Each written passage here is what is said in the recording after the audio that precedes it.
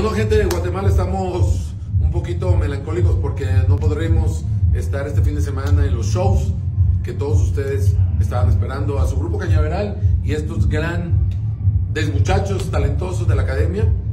por cuestiones ajenas a nosotros, cuestiones técnicas, cuestiones de logística, etcétera, etcétera, pero se está reagendando para el mes de marzo porque vamos a darles tres conciertos y muchos más conciertos con mucho cariño